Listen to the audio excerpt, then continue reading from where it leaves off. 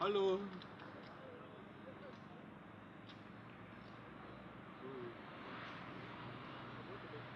Ich habe was vorbereitet zum Lesen, weil ich habe das vor drei Wochen das erste Mal gemacht beim Monsanto Marsch und da habe ich nichts zum Lesen gehabt und ich war ziemlich nervös und jetzt bin ich auch ziemlich nervös. Aber ich habe was zum Lesen da, zum Vorlesen. Dankeschön. Hallo Freunde, mein Name ist Michael. Ich bin 23 Jahre im Sternzeichen Krebs geboren und ich habe den Beruf Koch gelernt. Ich bin vor knapp vier Jahren aufgewacht. Die Dokumentation Zeitgeist hat in mir ein umfassendes Realitäts-Update-Programm gestartet. Von da an ging alles sehr schnell.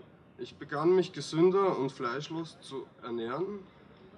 Ich schmiss Geschmacksverstärker, Aspartam und Fluorid aus meinem Speiseplan und war nun fast täglich auf der Suche nach neuen Updates. Am Anfang verstand ich einiges noch nicht und war mir bei manchen Sachen sehr unsicher. Bald jedoch fing ich an, mein Bewusstsein zu erweitern. Dadurch bekam ich wiederum ein mächtiges Update. Mir wurde bewusst, dass es uns möglich ist, unsere Sinne miteinander verschmelzen zu lassen und dadurch entsteht ein neuer Sinn, welcher mir geholfen hat, Zusammenhänge zu verstehen und Informationen zu bekommen, welche mir bis dahin verwehrt blieben. Knapp zwei Jahre verbrachte ich damit, mich zu informieren, mein Bewusstsein zu erweitern und Freunden meine Informationen weiterzugeben. Ich habe jedoch lange Zeit gebraucht, bis mir endgültig klar wurde, dass man grundlegend nur sich selbst ändern kann und nicht andere Menschen. Und Dankeschön. Danke. Wo war ich?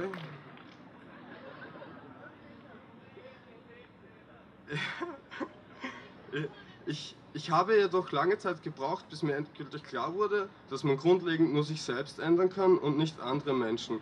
Und ich denke, das ist auch gut so. Denn wir, wir sind, denke ich, hier, um Erfahrungen zu machen und uns weiterzuentwickeln. Und jeder von uns muss wahrscheinlich seine eigenen Erfahrungen selbst machen. Ich kam an den Punkt, wo mir bewusst wurde, dass ich, was diese Dimension anbelangt, schon ziemlich viel wusste und die Zeit für mich gekommen war, zu handeln. Okay, die nächsten zwei Sätze habe ich durchgestrichen, weil meine Freundin hat gesagt, das soll ich nicht sagen. Okay, ich sag's.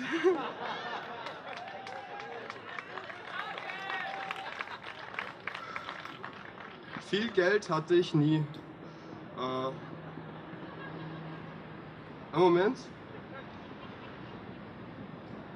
Viel Geld halt hatte ich nie.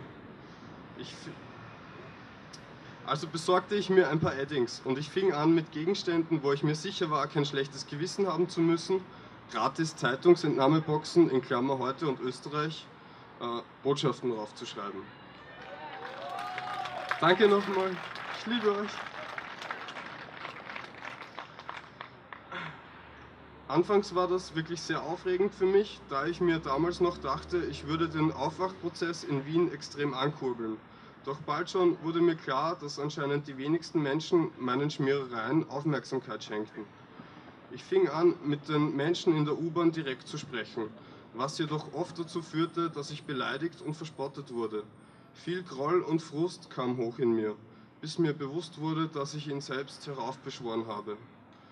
Denn mit dem ganzen Wissen, das ich mir angeeignet habe, sah ich mich selbst auf einem hohen Ross sitzen und habe instinktiv die Masse der Menschen als kleine, dumme Wesen betrachtet. Großer Fehler.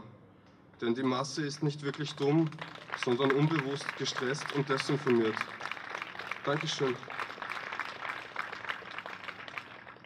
Als ich das eingesehen habe, ging ich schon bald ganz anders auf meine Mitmenschen zu. Und siehe da, fast ein jeder, den ich ansprach, fing an, mir gut zuzuhören und war auch oft selbst schon gut informiert. Ich bin mir ziemlich sicher, na Quatsch, ich weiß es, dass schon längst genügend Menschen aufgewacht sind. Wir müssen sie nur erreichen und uns verbünden.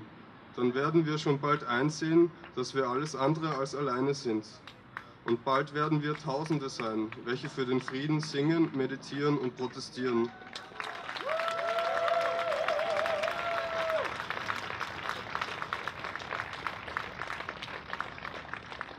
Ich möchte euch noch ein paar motivierende Eindrücke meinerseits vermitteln.